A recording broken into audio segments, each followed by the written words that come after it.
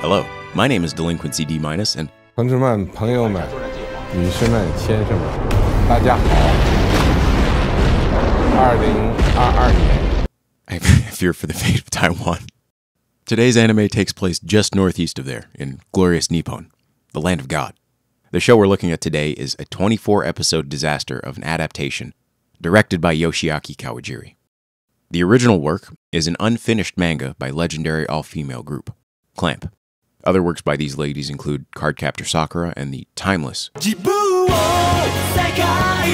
Unfortunately, unlike the other examples, this show is it's terrible. The name? It's called X or X 1999, aka X TV. Not to be confused with X or X 1999, also known as X the movie. Or even X Unmei no Sentaku, released in 2002 for the PS1. See, this is funny because the PS2 was actually released like two years earlier in the year 2000, so. Just feels like a, a little bit of a missed opportunity. That's all I'm saying. Anyway, The problems I have with this show are that the setting is like nearly incoherent, the plot is stupid and also incoherent, and the characters are. Guess. Before we talk about those, though, let's get a quick synopsis going so you kinda know what to expect. Basically, it is a 7 versus 7 team deathmatch. The fated day is coming where the final battle will be fought, and the end of the world may follow. Sounds super basic, but this is actually how they talk in the show. It's wild. I've been getting all sorts of special training up on the mountain. And now, the day to use those skills is coming. In other words, the end of the world. The promised day. On one side are the dragons of heaven, who protect the seven seals that also may be made of or, or by dragons. These guys are also called the seven seals. Like they're called the seven seals, but also the seven dragons of heaven. And there are dragons, there's a lot of dragon imagery. It, it's unclear. I, I'm not sure. Regardless, the seven dragons of heaven exist to protect humanity and the seals placed across the world that stop the earth from unleashing environmental holocaust upon itself. The Seven Dragons of Heaven are a group of six super magically gifted people who are led by the seventh member of the group. The seventh member of the group is Kamui, the one and only Kamui who will wield the divine sword Shinken in the final battle. Against the seven dragons of heaven are the seven dragons of earth.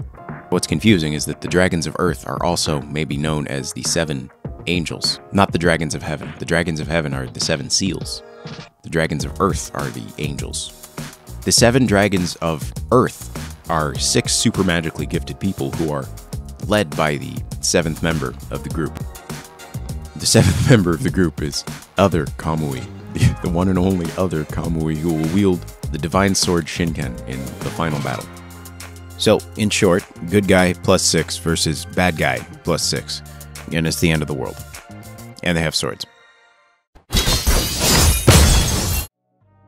As I alluded to earlier, the setting is basically just like the rest of the show. It's incoherent. By the way, once again, it's still Japan. It has to be Japan in this case because of all the magic seals placed across the world, the strongest ones are all, of course, in Japan. They've got robots, clone people, Bible shit, and there are dragons, maybe. The characters also have different degrees of elemental, psychokinetic, future reading, and illusion powers that they use with little to no explanation. I'd like to call back to the synopsis at this point and go over some of what we've learned so far. We've got seven dragons of heaven, seven seals, seven dragons of earth, seven angels, divine sword Shinken, Kamui, fated day, final battle, terms and conditions. You'll hear set pieces talked about and talked about and talked about and talked about, but there's like there's little to no explanation to any of them. The plot doesn't even get partially laid out until like episode 5 and the actual deathmatch doesn't start until like episode 11, which is it's crazy to me. Now originally the script for this video was 20 pages with the argument for the setting taking up about 4, but for the sake of brevity, I'm going to use one example from the several I initially had from that script. My example here is the barrier field, a key element of the show that is given this beautiful scene as an explanation. Sheesh, this is getting weird. Heck, it's downright freaky. I was just getting set to walk up to Kamui and start up a conversation. But some guy in a school uniform gets there, they jump onto the roof and fly off together. Then suddenly there's this chick who makes a sword grow out of her hand. Then a guy shooting hoops shows up and hangs out with him. I never even had a chance to say hi to the guy. so what do I do now? Hmm? Hey, buddy! What the heck are you doing up there?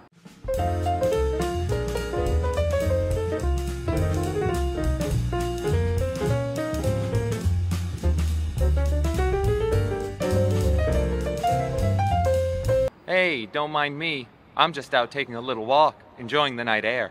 Ah, a walk, huh? Most people don't take walks up a 50 foot tree. That's a shame. The stars are a whole lot prettier from up here. You're funny, dude! and you came here to see Kamui, didn't you? And if I did, what are you gonna do about it? Are you a friend of that guy in a school uniform? No. Why? At any rate, you'll have to wait until my business with him is done.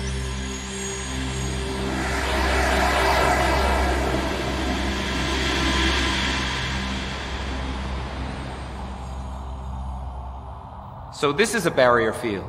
It's the first time I've seen one. A perfect square, at least a kilometer on each side, enclosing an alternate dimension. Amazing. the barrier prevents innocent people from getting hurt. No one's got to worry about getting clobbered except me and you. And this way, we don't have to worry about damage to the actual material plane. With no interruptions. We can fight all we want. You got that right, pal. Anything that's damaged or destroyed within the barrier will remain untouched in its original dimension. But as I understand it, if the person who creates the field is badly injured or killed, the rules change, and the original dimension will be damaged too. You sure know an awful lot about it. Nah, just what I've heard. You want to give it a try? I hope so, because the only way you're getting out of here is by taking me out. Looks that way. As I thought. It looks like we both got something to do with this end of the world thing. Yep. Very, very comprehensive scene that just gets better each time I watch it, honestly.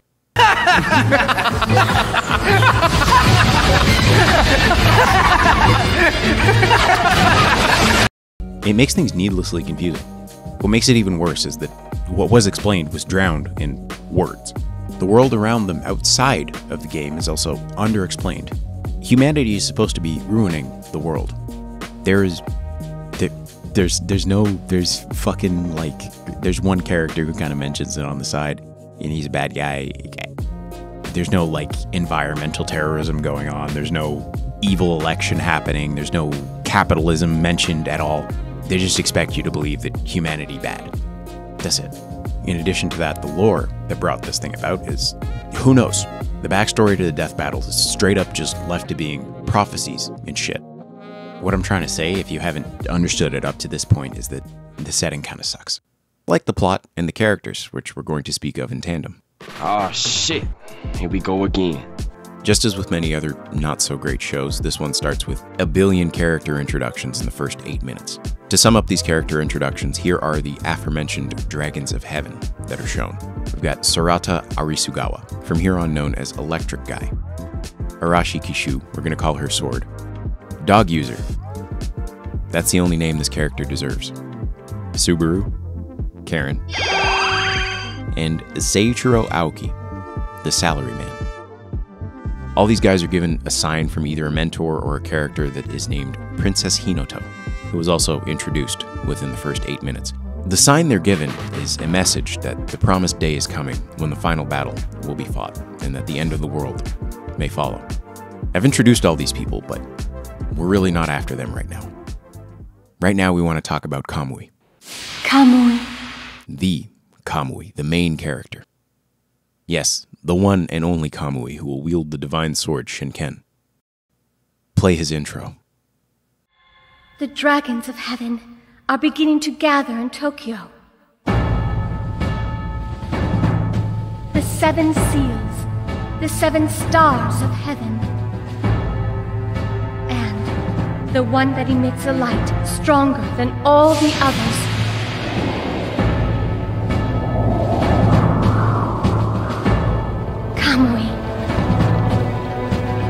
Everything is shifting, moving. It has finally begun.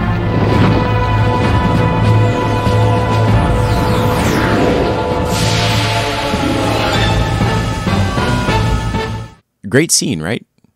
Any idea what's going on? Good. That's exactly how I felt. To save you a few IQ points, though, what I'm going to do is explain the character in an organized and mostly reasonable manner. As a child, Kamui's mother told him to retrieve the divine sword Shinken. She then died in a fire, and the child was taken away. Kamui gets older and returns to Tokyo in order to fulfill her wish. When Kamui returns, he attends an unnamed high school with his childhood friends, the siblings Fuma and Kotori Monou. They were neighbors as kids, and hung out before Kamui was taken away and gained his powers. One day, Kamui and Kotori climbed a tree together. This this giant, this fucking huge tree, two elementary schools, all the way to the top. And when they got to the top, Kotori almost fell, and Kamui held onto her for like six hours straight. It was so difficult that he fell unconscious about halfway through. When they were saved, Fuma pledged to always protect Kamui. The sibling's mother also died, but she died giving birth to a sword. Here's the scene.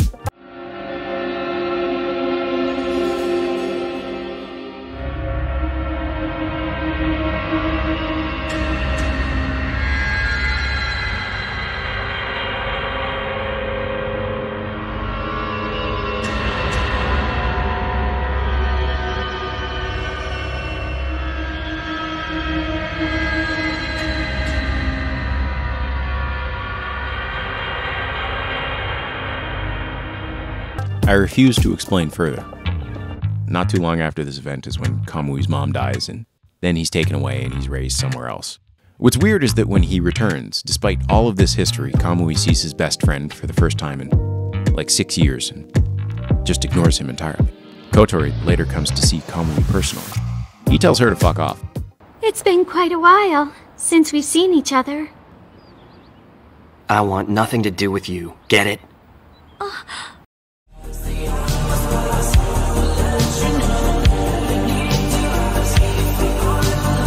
Kamui's edgy, but it's it's just a ruse. Long story short, the reason for this is because he doesn't want to involve them in the final fated battle. Kamui also plans carefully. It's not revealed to us, but Kamui understands what the sword is and why he must retrieve it from his best friend's dad. Is that you, Kamui? I've come for the divine sword. Everything I said is also just a ruse. The first, like, five episodes are just him telling people they're dumb and bitching that he can't beat up some old dude and take the sword from him. Like, I'm not kidding.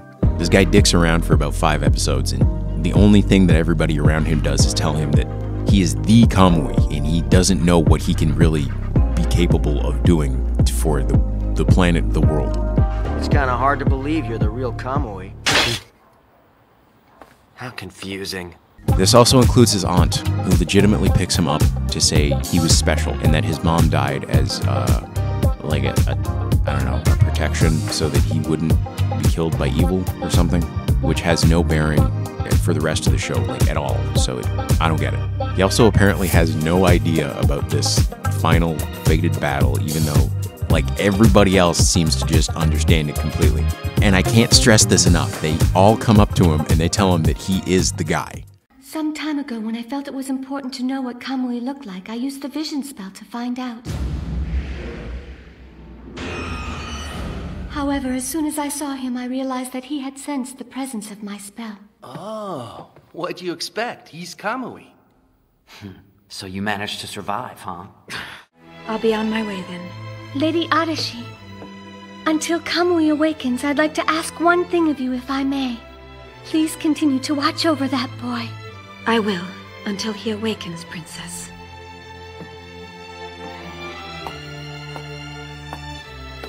The Seven Seals.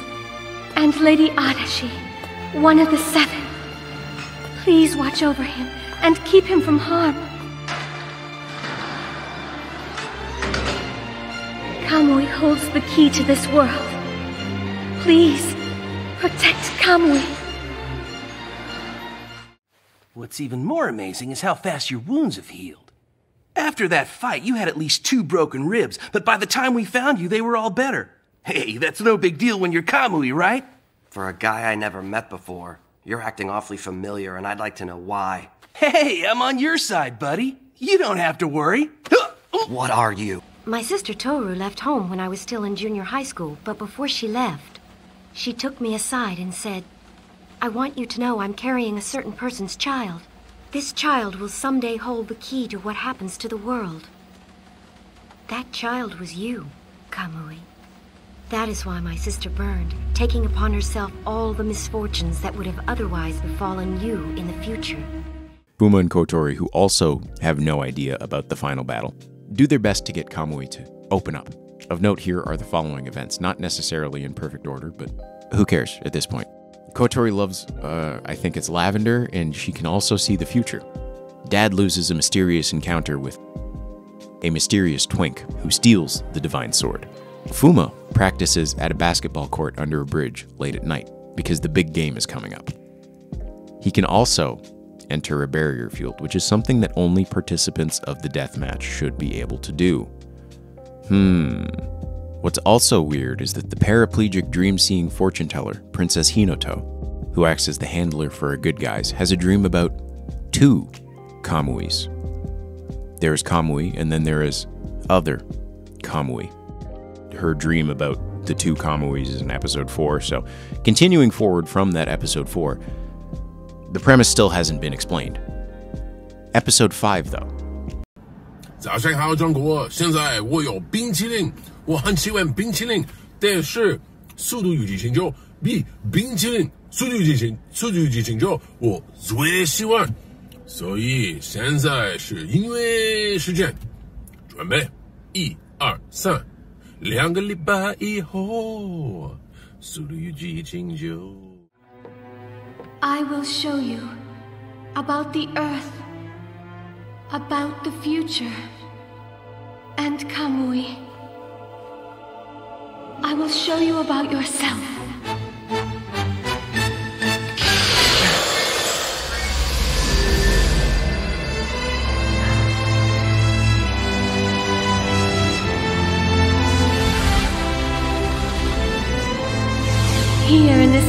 Tokyo are the keys to supporting the survival of Earth. In this area, there are many barriers created artificially by man. The Yamanote Line, a thread barrier drawn in the shape of Buddha's hand with the Imperial Palace in its center to protect Tokyo. The skyscrapers in Shinjuku, which is a group of giant barrier stones, and other foundations that support the unstable ground. There is great power within these barriers which have come to be known as the Dragons of Heaven. And these are the Dragons of Earth. The powers that can obliterate these barriers and destroy the world. The ones who lead those powers are called the Seven Angels. And only the Seven Seals can stop them and protect the Dragons of Heaven. The battle between the dragons of heaven, the seven seals, and the dragons of earth, the seven angels. That is the battle for the end of the world. If the dragons of heaven are defeated by the dragons of earth, the world will be destroyed. This is the future that I saw. What also happens in this scene in episode 5 is that the fortune teller's sister, who acts as a handler for the bad guys, enters the dream where Kamui is being explained. The premise. You cannot deny your mother's will, nor renounce your destiny. A destiny that is hidden within your name. Kami for God, E for authority. Kamui means he who represents the authority of God, the one to whom God has given the power to carry out his will and save this world. It also means he who hunts the authority of God. You mustn't go off on your own with Kamui like that, my dear sister Hinoto. And how devious of you not to tell him the crucial facts. And just who might you be? It's a pleasure to meet you, Kamui. My name's Kanoe. I am Hinoto's younger sister. I'm not a true dream seer, but I do have the ability to enter the dreams of others. So whatever my sister is dreaming about, I can see as well as she can. You must stay out of my dreams, Kanoe. You are not welcome here. What crucial facts? She told you about only one meaning of the name Kamui. It has another meaning as well. He who hunts the authority of God, meaning one who hunts down those who would use God's power and then destroys the world. So one possibility is that you'll choose to be a dragon of heaven, but there's an equal possibility that you'll choose to be a dragon of earth. What the hell do you mean? I'm saying that you have two futures, Kamui. She, she, yep, she can just enter other people's dreams. So basically, she has the future sight powers because she can enter her sister's dreams, and she does it all the time. Also, she hates her sister because her sister was treated better as a child because her sister has the future sight powers and she and she doesn't. So she's a loser. Kanoe tells Kamui that he might also be the leader of the six bad guys. This puts Kamui into a deep inner conflict as he has had no idea about any of this up until now. Kamui, in his deep inner conflict, uh, moves away from everybody and slowly tries to rekindle his friendships with Fuma and Kotori, who at this point are also spending every other single day and night in the hospital. But regardless of this, Fuma still manages to win the big game for his team, even when he stayed up all night by Papa's side. Kamui watches this and is proud of his friend. Kotori is also proud of her brother, but then she has a dream of Fuma and Kamui fighting with swords. Strange. What's going on? What could it mean? If you haven't already guessed by the time code and the fact that the title has a part one in it, you're going to have to wait to find out, though. I'm going to release this one in two parts. Small spoiler. It does indeed get worse. Anyway, that's the video. Later.